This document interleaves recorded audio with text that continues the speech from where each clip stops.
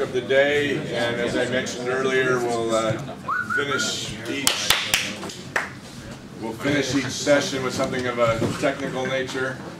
Uh, Dan Drake is interested in a lot of areas of mathematics, does a lot of thing in this, things in the SAGE library, but probably best known for his SageTeX contribution. He is also the Southeast Asia representative to the SAGE project. East Asia, okay, all right. Okay, all right, all right. So we'll make geography.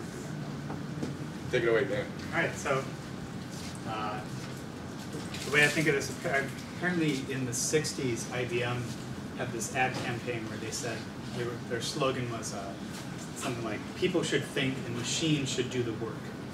And uh, the subtext presumably is that you're supposed to buy all these machines to do the work from international business machines.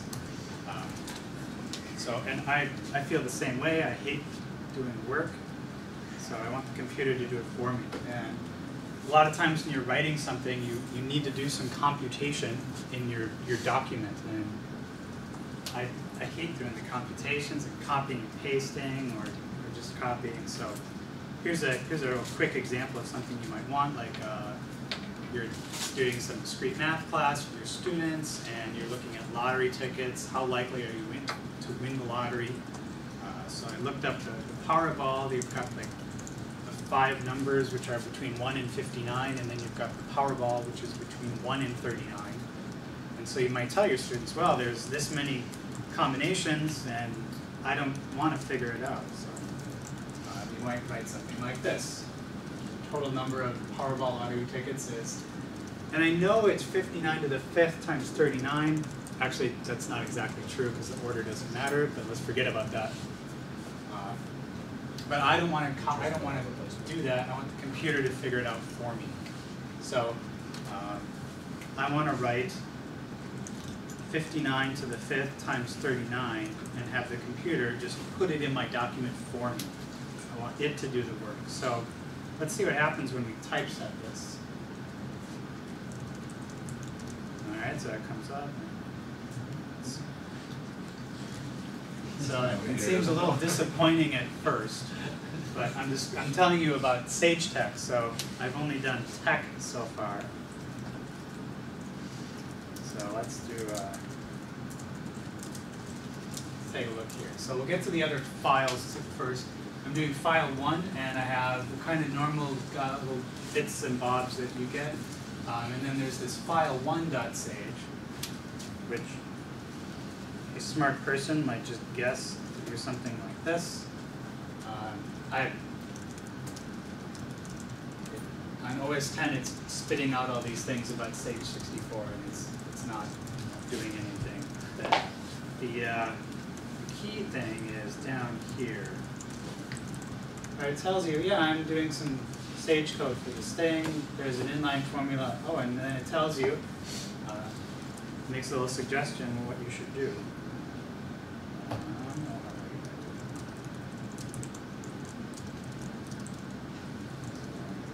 here.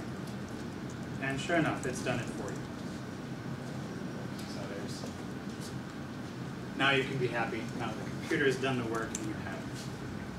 So that's just the simplest basic idea. And uh, I told Rob earlier that if, if necessary, I could give about a five to 10 minute version of the talk. And so if, I had to stop now, that would actually be fine. Because once you know this, where you type things in your TeX file, typeset, run Sage, typeset again, that's actually a very good start. But I'm going to keep us all away from lunch a little longer. I did look at the, uh, the schedule and I thought, oh man, I don't want to speak for lunch because everyone's going to sit there thinking, do I want to go for Thai or this? Not pay attention to my wonderful talk. So there's more things you can do. So along the way, you might want to talk about some, some Sage code. Um, so here's an example. Uh, I start off the same little lottery ticket thing. Um, you put in all your normal LaTeX stuff. Um, I should I should at least mention somewhere along the way you have to tell LaTeX that you're going to use SageTeX. And you do so in the usual way. So I want to show the reader some Sage commands, so I do this Sage block business, and then you just type exactly what you type in Sage. Nothing special, normal sort of things, so I blah blah blah, I set some equations and I solve them. Um, and then the solutions here are well, whatever that S thing is. So you have to maintain a little bit of LaTeX and a little bit of Sage in your mind. S equals the solve. All right, I want to see what that is. Uh, and we'll get to these other things. So let's just see what we get. We have the same little question marks because it still doesn't know. In this case, it doesn't know how many Powerball tickets there are. This business here, this is just TeX putting it on the page. Um, it's not doing any computations yet, and it doesn't know the solutions here. So let's go back here. This is now file two. So notice perhaps there's an inline formula, code block, blah blah blah, and it says, oh, okay, I'm done. So let's go back. And this is a lot better. It's replaced the solutions with the big list, uh, and so on. Now, along the way, you may want to sometimes show people things that you don't actually want to execute. So here I have uh, a pretty good example of something you don't want to execute. Uh, some large number, factorial, factorial, factorial, factoring that. Uh, I, and, and being very careful and conscientious, I marked it a long time. and, you, and you can actually put whatever you want in here, so it, it never gets seen by Sage. So you can put silly things in there for whatever purpose. Um, so you notice over here in the typeset version, there's, it just goes from this thing to the next base 6 business. But in my uh, file over here, oh, and I should mention, that's a the first thing where you want things executed, or not executed. It's Sage verbatim. Just like the normal verbatim environment, that's, that's pretty much what it is. So below that, I have Sage silent. So it's silent. Perhaps invisible or something like that would have been a better metaphor, but what. John? Is there, um, Sage verbatim anything Um, it's, it's like this far away. There's a, a, a little bit of indentation that it uses. And so if you use Sage verbatim, it's guaranteed to be consistent.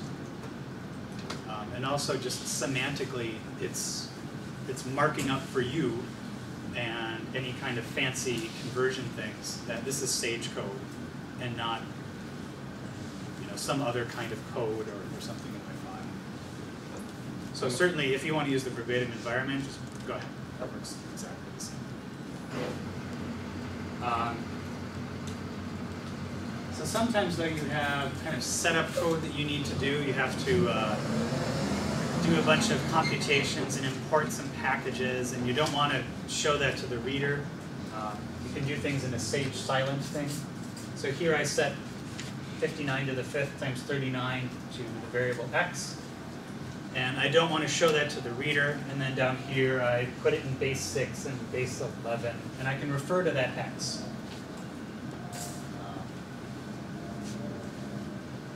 And if you have display, don't display, execute it, don't execute it, um, that's four combinations. And the combination where you neither display nor execute um, is actually provided by something else. It's the comment environment.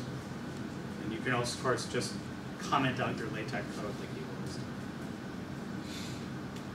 So, So is there anything that comment does that's different from just,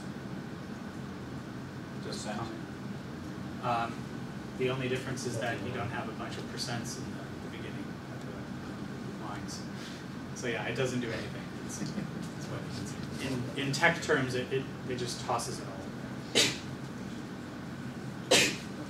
Oh, so this is nice. Uh, but along the way, people say, well, okay, but I want some pictures.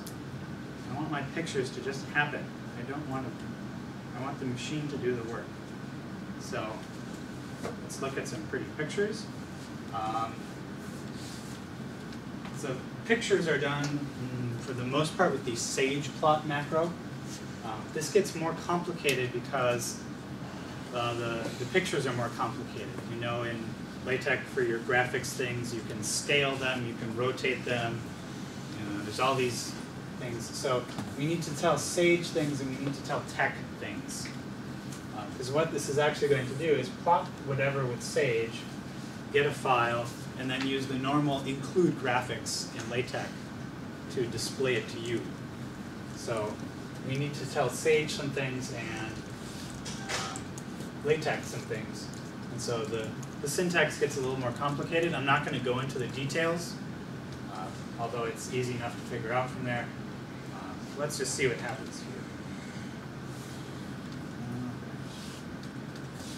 Now this actually fails, and I decided to leave it failing, at least initially. Um, there's, there's some really nice stuff for plotting combinatorial graphs, uh, which requires some extra little add-ons to uh, TikZ, if you know about that graphical system in TeX. Uh, so this is something that you may encounter if you say, oh, I want to make a really beautiful plot of this graph, and there's these TKZ Burge and graph and guys. So you need to get them, um, do that now. Jason? Is the license on those files such that we should just incorporate them in the Sage Tech test package? So that it comes along with Sage and if you just make That's, that yeah. part of your local. Um, I actually looked on the site and I couldn't really identify the license, but there was some other things that were LaTeX public license things on the site. So I decided to assume so and just include them. Oh, so you did include? them? Yeah. Okay, I don't so know if it's in the most recent S package. Okay. So they will come with Sage, so we won't have to go find them and download them. Right. Okay, good. So in this case, I'm just going to. Uh,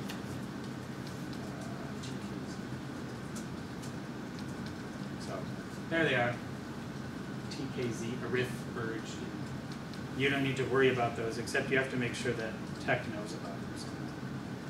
So go away. and Let's try again. All right.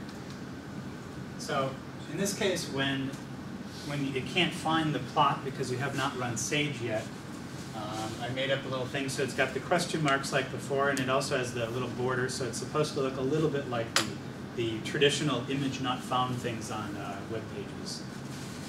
So uh, everything else seems to be working well enough. Let's go over and run Sage.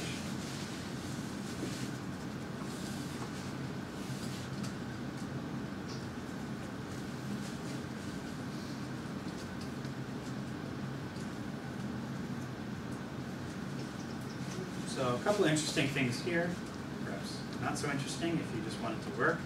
Um, it puts the plots in a special directory, um, which I'll show you in a moment. Um, it will try to save things in EPS and PDF format. Those are vector formats, and they'll look a lot better. Um, and sometimes it doesn't work, and it has to fall back to just PNG, which is a, a bitmap format. And if you zoom in, it looks looks not so great. But the plotting thing I've tried to make really robust. Uh, let's take a look at the things it made. Oh, down here, there's this Sage plots for file3.tex, and that's where they're actually stored in. So if you're working on something and you have some other graphics, uh, this will not, hopefully not accidentally trash anything. Um, and it's easy enough to see, oh, Sage made that, I can just delete it and recreate it later. Alright, so let's see what we get for all that work.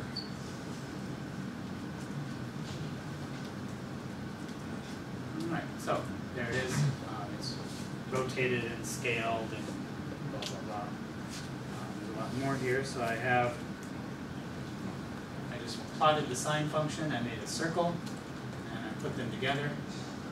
Um, it does that for you. Um, and then so many times I'll plot a circle and then I'll say, that's not a circle at all, it's a Sage program, it's got all sorts of bugs in it. No, it's the But thanks to Ryan, that will finally be fixed, because he reviewed a patch that Jason and I wrote eons ago. Good. Excellent. So there's just your regular calculus style graphs, and then you have more combinatorial graphs. Um, I don't know why it's overwriting the text nearby. Um,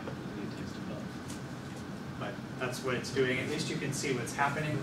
Uh, so Sage computed this layout and it spit out all the information in a really nice format and then TeX pulled it in and typeset it in this nice way. You can put that in the F box, I'm curious. I'm curious if it's just looking at the centers of the vertices and laying out those or and ignoring, you know, the Yeah, it's. It's something that's fixable, yeah, and I think actually we have seen the same plot in one of the workshops and it also was kind of Really? bigger than the space. Okay. Okay. Okay. Okay, but right now, we're not, uh, we don't care if it overwrites some words, we just wanna see the pretty pictures. Um, 3D graphics are a kind of frustrating part of this. Um, so, in, in your TeX documents where you're making PDFs, you want vector formats like EPS, encapsulated PostScript, or PDF itself. Um, because then when, you know, they're real high quality, it's a vector format, um, looks nice when printed, doesn't look pixelated or anything. But the 3D graphics right now, we don't have any good way of creating those things from, from any of our systems. So it just defaults and falls back to PNGs, which, uh, they actually, they do look pretty good for most purposes. So, um, it, it uses the, uh, the Tachyon renderer, which you may or may not know about, um, and it creates pictures that look about like so. Um, let me show you the, um, so let's see it down here. Uh, set up my variables, and then this is a little plot 3D sine of pi, blah, blah, blah, blah, blah. And I scaled it down a little bit.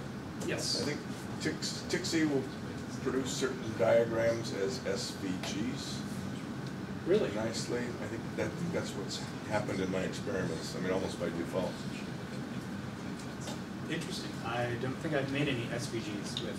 Right, maybe we can experiment Okay. tomorrow and see if we can get a little testing going. Okay. Alright, so up until now, this is all pretty straightforward stuff. Um, you know, oh, I have Sage, it, it computes things for me, it makes graphics. Um, but the nice thing about this system is you can do other things as well. Um.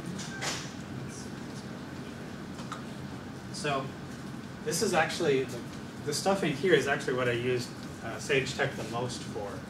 Um, so you know about making tables in LaTeX, um, and you have to put all the ampersands in. And if, and I suspect this is the kind of audience that will all agree with this statement, I would, instead of spending ten minutes typing ampersands, I would rather spend forty-five minutes to an hour writing a function. And then I justify it by saying to myself, but I'm gonna use this in the future. And so, over, over the long term, this is gonna save me so much time. And, and it's probably not true, but I'm willing to delude myself into thinking that way. And, uh, and I'm very happy in the end, so. Um, so what I've done here, so yeah, so if you, you wanna typeset some kind of table, so if, if you just think in terms of Sage or Python, the data structure you want for that is a list of lists. So I don't want to type ampersands, I want to just make a list of lists and have the computer do all the work. I do the thinking to make the list of lists, the computer does the work. So this is one of those things where I sat down, and I thought about how to do it, and I spent a long time um, instead of just typing the stupid ampersands. Um, and this is a function here, it's in a Sage silent thing, so I, I don't see it, it just gets executed later. Um, and I just made a function, and it just manipulates strings really. Um, it just builds the whole thing. Um, the gritty details are not important, it's just you give it a list of lists and it gives you a big string. That is the, the TeX code that you want. So you know, it's got a begin tabular and then it figures out how many R's or L's or whatever it needs. And then at the end, for the purpose of an example, I have a little Pascal's triangle. And this is the kind of thing I like to do. List of lists, binomial nk for k and blah blah blah. That's what I like. Alright, now Now there's a slightly new thing here. Up until now, I've just been using backslash sage, and that runs Sage's LaTeX function on things. So um, if you give it an integral, if you do backslash sage, it will use sage to get out the backslash int whatever. Um, sometimes you don't want that. This is a case where I don't want any processing. I just want you to take the actual string I get from this and just plop it into my TeX file. So you use sage string, sage str. Alright, so it's, Well, it's still, it, the reason you had to do the sage string is because it's using the Python code Yeah. TeX.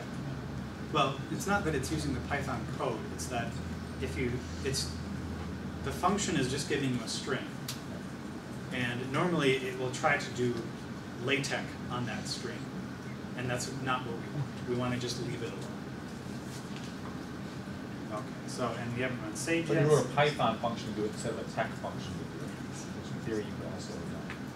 Yes, and if we wanted to write a TeX function that automatically computes tabular environment, uh, feel free to do so. Um, I will use for loops and string manipulation in Python. Thank you very much. happy to do that for you.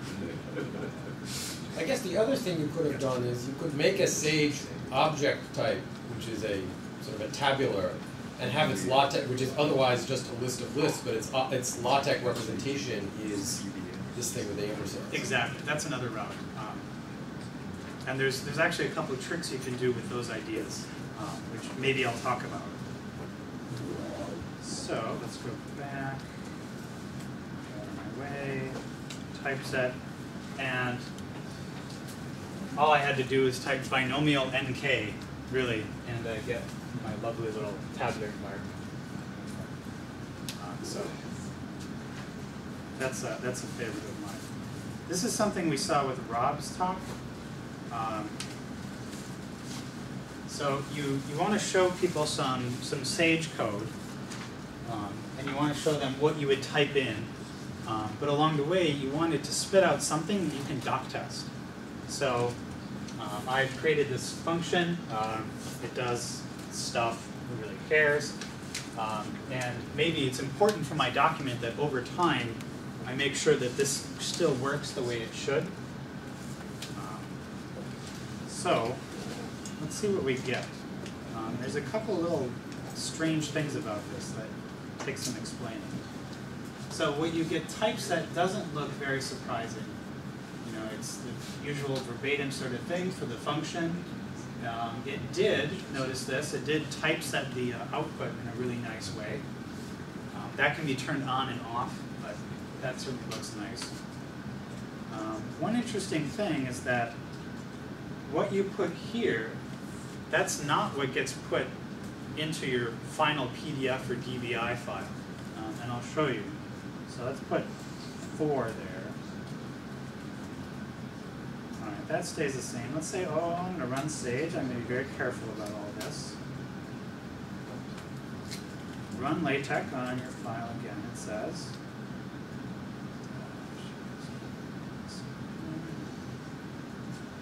And notice over here, this is still one. We've run LaTeX a couple times, we ran Sage. So what Sage is doing here, it's actually running f of x and getting out the, the answer. Um, it's not using what you provided. What you provided goes somewhere else. So let's look at the files we get. Alright, so you get all this crap from LaTeX. You get this SyncTeX thing from TeXShop. And then you have your Sage file, which is what we've been running. And then down here, there's this doctest.sage. And I want to show you that. For silly technical reasons, we can't do dot doc test, which I prefer, but that's life. Um, and it's really, it's just a little TeX file, or it's a text file.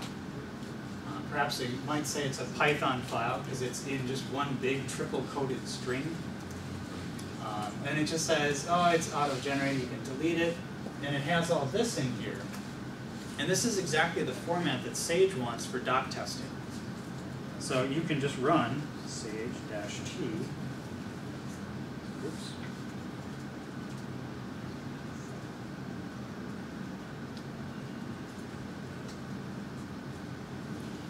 It runs the doc tests just like it always will, and they should fail.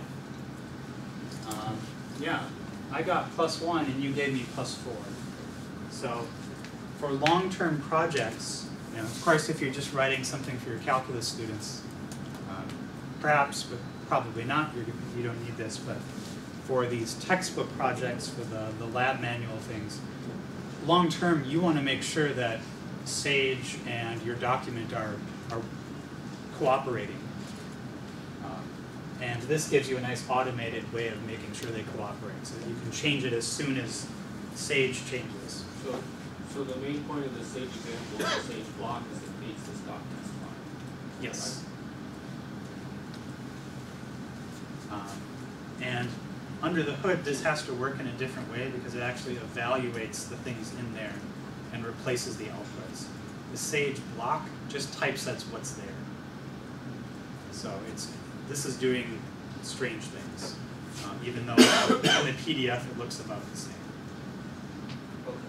But- But from our point of view, the main point to use it is because then you get this doc test. Right. Um, okay, perhaps it's bad form for a speaker to show his notes to everyone, but yeah, we messed up the doc test. Saw that. Um, there's a couple other things that run very much like this. There's a Sage command line. So this is this is the idea. You want to show your students what commands you type into Sage to do some computation, but you don't actually want to copy and paste the output for your students.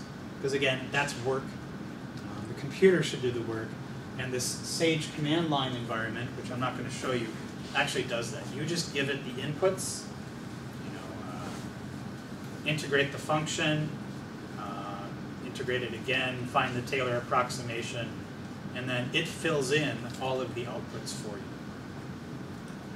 It does all the work. And it also uses a listings environment uh, so that it looks much better than uh, plain verbatim. Yeah. Uh, so I want to give you at least a little idea of how this actually works. Um, so I want to go back over to all these these files that were made, and there's there's two that you need to care about. It's the .sage file and the .sout file. So what happens is when you first run LaTeX, LaTeX, along with all the other stuff, it writes out a the, the .sage file, and that's it's it's a bunch of Sage source code. Uh, I think file three is, is interesting. So you can look at it. It's uh, you know some of it looks a bit goofy, but it's it's nothing too hard to understand. Um, it does some version checking. You can ignore that for now, and. Uh, and you can see here, some kind of inline thing. Run late, the LaTeX function on 2 to the 32 plus 1. Um, uh, plot. So this is, oh, here's the command. You do that plot. It's feeding it into some other function. And so that's, that's doing all the plotting things where it saves files to a certain directory and so on. Um, the, the try and accepts are uh, catching errors so that if something, if you write some silly code in your TeX file, um, you have some chance of figuring out what went wrong and where. So it's, it's just a Sage file. It's in a, it's nothing you would write yourself, but it's, it's pretty easy to understand. Now, when you run Sage on that, Sage writes out a LaTeX file. So uh, LaTeX writes a Sage file, Sage writes a LaTeX file, and uh, I was going to tell William that he should insert in the video at this point the uh, Circle of Life song from the, the Lion King. so I'll show you the sout file. So here, we, we, actually use labels for everything. So remember the 2 to the 32 plus 1? Here's what you get from that. It's making a label, and it's setting something that SageTeX knows about, and there's the number, 429496, and so on. Uh, and then here's another label, which is much, much bigger. So it's this whole TikZ thing that has all these defined colors and blah blah blah. You can put anything you want in the label, um, so it, it can be really big. And so uh, that's the whole thing that gets pulled in, and it made that graph that overlaps some of the text. Uh, I want to show you one other. Let's see here. File four on Sage is probably interesting. So here, this one, it just puts the function definition right in there. Uh, the little Pascal thing, and then it says, yeah, just take what you get here and uh. The doc test thing works a little differently. It puts in this big triple quoted string, so if you use triple quotes, it will uh, fail in strange ways. Um, it uses that string to, and it takes it apart and reassembles it and does what you want. So there's a lot more you can do, um, but my hope in this talk was to just show you the basics of how it works, and then you can go and read all the documentation. Um, the typeset documentation right now is 50 some pages. Um, that includes all the source code, and so um, along with the example file, that gives you a lot of ideas.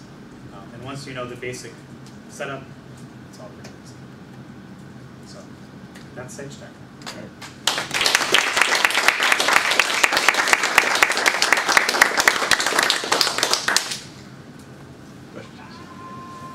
I was curious.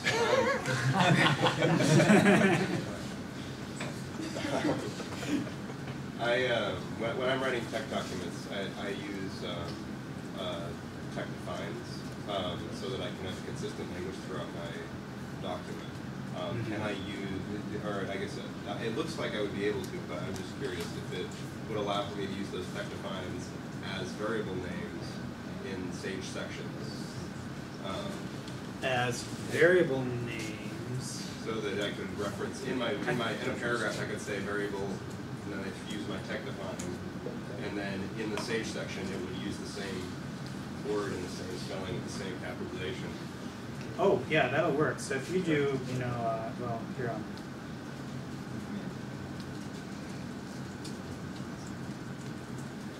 So, um, oh, this is the bottom, let's put it up to the top.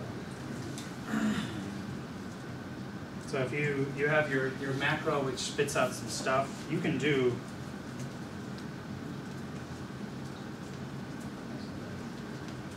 something like that.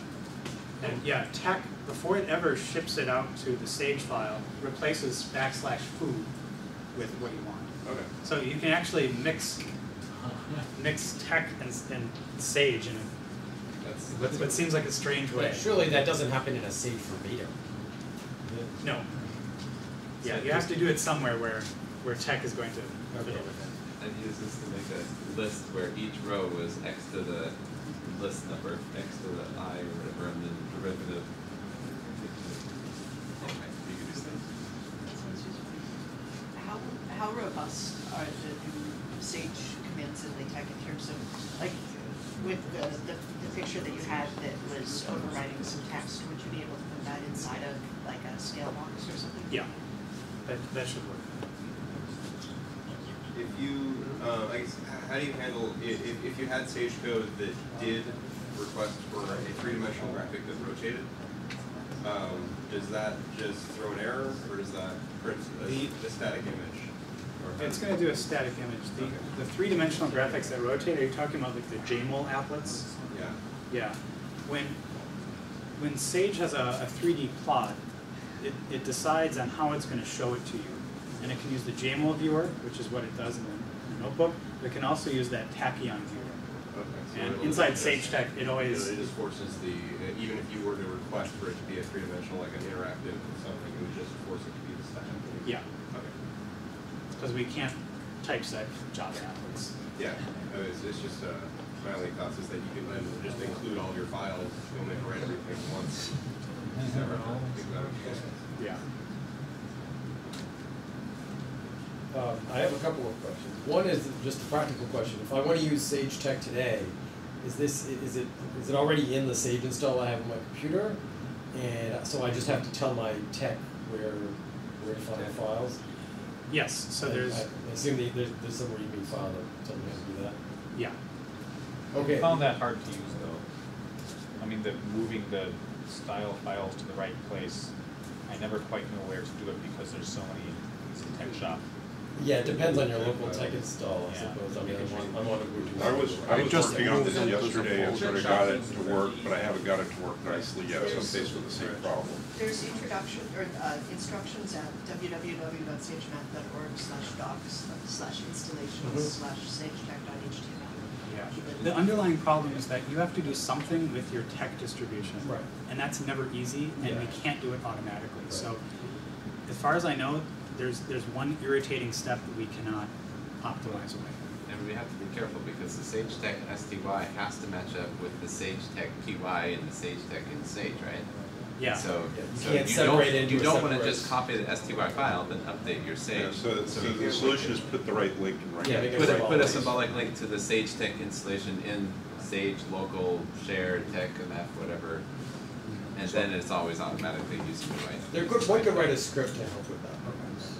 Probably to help, yeah, we wouldn't wanna do it automatically. So I grabbed, I grabbed Dan's, you know, tip of his distribution, and then I put the right piece of SageTeX, I install it into my Sage version.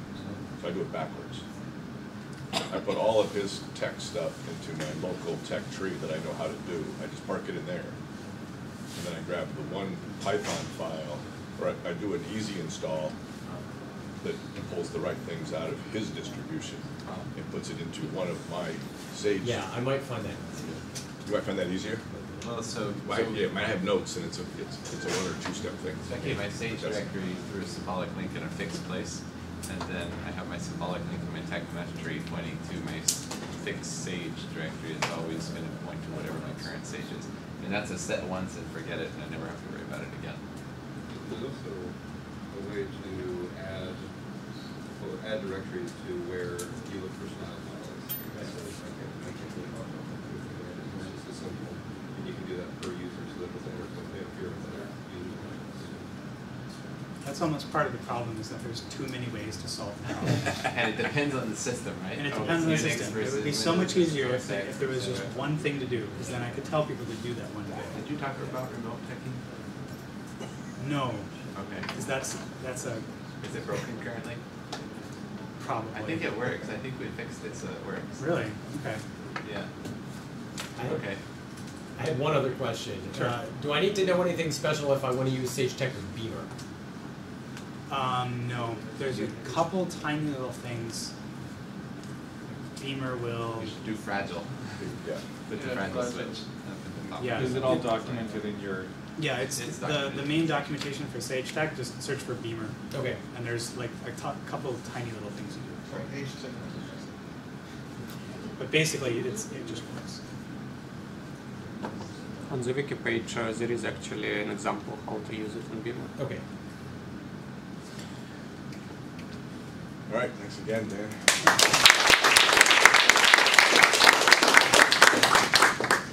All right, we've, uh,